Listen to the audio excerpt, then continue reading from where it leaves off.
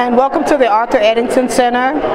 Uh, today we're having a fundraising event for uh, Mr. Robert Simmons, who's a uh, community activist, mentor, um, also a member of the Southside Community Advisory Board, as well as on the board of Manna Foods, real strong man in the community, with adult programming for his Father to Father program.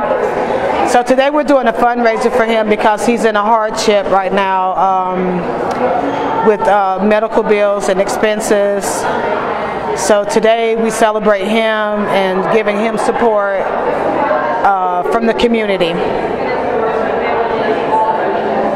All right, good.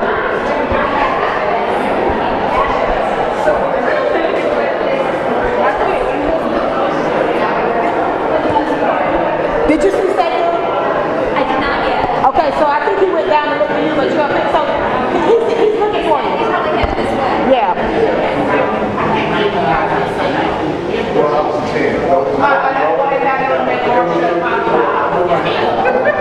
You tell her.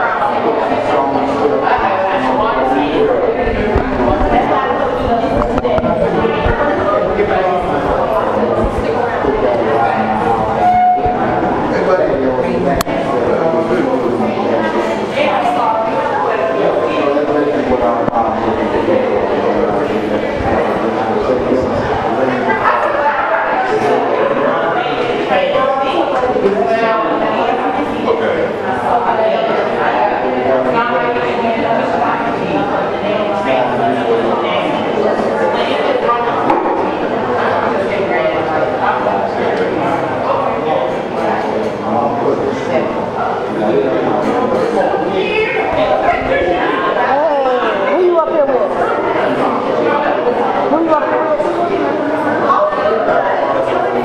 With, with, with who? By yourself? Who with you? You by yourself?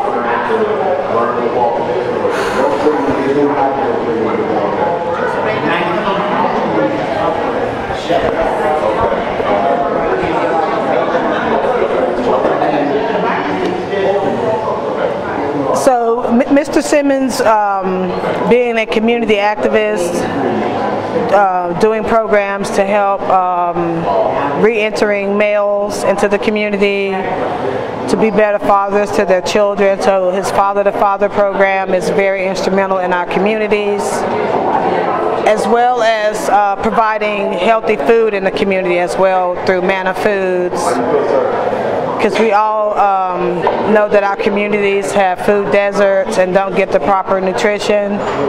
So that's one of the things that he worked hard for, making sure that communities got healthy food, clean food in their communities.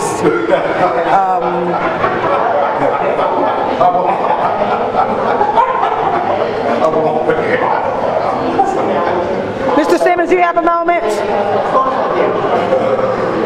We just, you know, I was talking about all the good things about you and your work in the community and how you um, working with men in the community when they re-enter back into community so they can be better fathers to their children with their Father to Father program. Could you tell us a little bit about that? Well, this has been kind of the love of, it's been something I've been interested in for a long time. I started uh, basically teaching classes out of the prison to the men out there in 2002 and was blessed enough to bring that same opportunity to this community because one of the things that we were noticing is that there were more and more fatherless young men.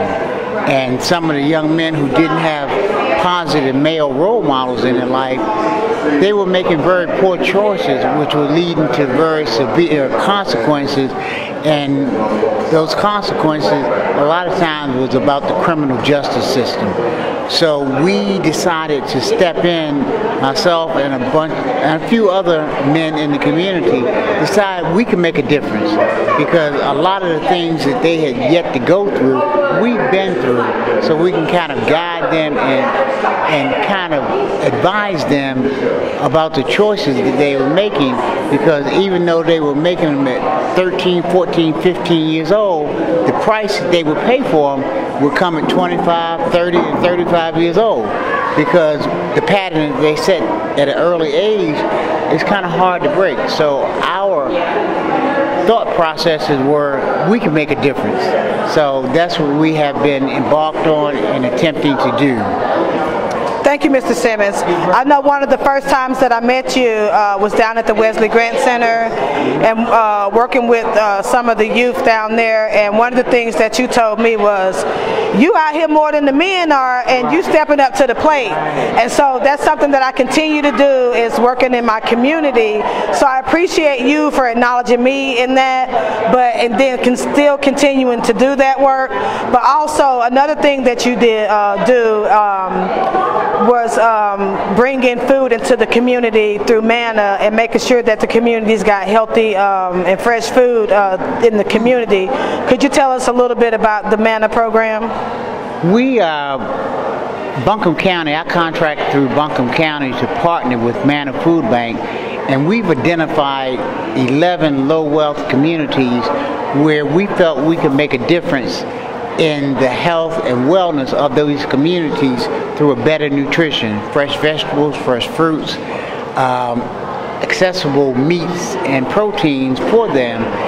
And we have partnered with Manna Food Bank for the last five years, and it has made a tremendous difference in terms of the food that's available to these low wealth communities that they don't have to spend the food stamps on or sometimes even the dollars that they could be using to buy medicine or fulfill their prescriptions. We freed up some monies for them to be able to do that. But what it also has done is provide the community with a social gathering place that's safe for the community to come and be a part of. And we're very proud of the difference that we've made. And where we are here today is one of the sites that has benefited from the Manna Food Bank, uh, the Manna Pop-Up Program. And uh, we're very proud of this site, proud of you, and the volunteers who make it work here, as well as the other sites that we serve. Thank you, Mr. Simmons. And uh, this is the day that we celebrate you for all your hard work that you've done in our community. So thank you, and we want to give back to you. Thank you. Thank you. All right. Yeah. Thank you. All right.